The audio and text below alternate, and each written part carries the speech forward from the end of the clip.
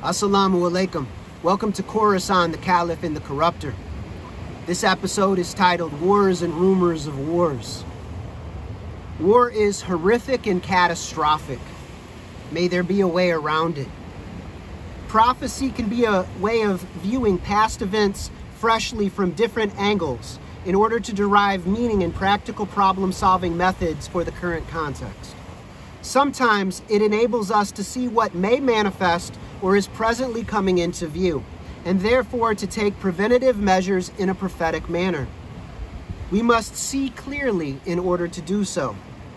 Prophecy can be read many ways, and much within the eschatological realm is not as clear cut and absolute as some might have us believe. Allah grants us opportunities to correct and prevent hellish outcomes. A perfect example is that of Nineveh, a tremendously vile and sinful city. When commanded to go to them and call them to repentance, Yunus alayhi salam runs from the call, and this can be read in a number of ways.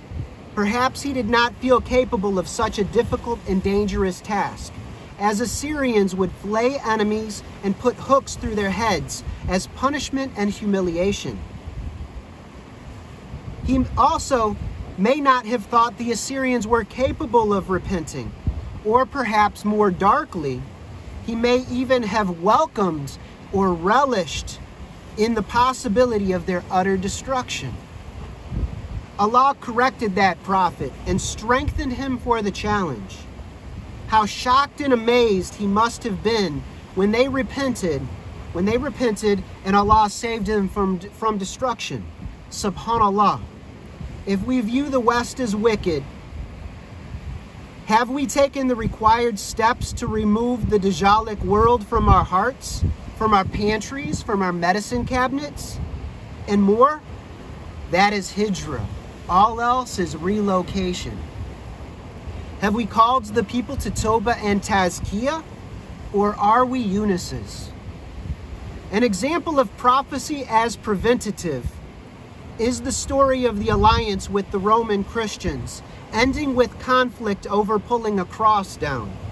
This does not have to occur. And there are many ways around this, inshallah.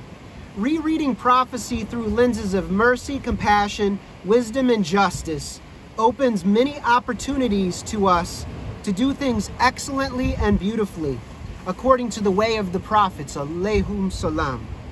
I believe this is our responsibility, and if not done, Tremendous sin is upon the Ummah. I do not mean what the Da'is are doing, but something considerably closer to the prophetic model.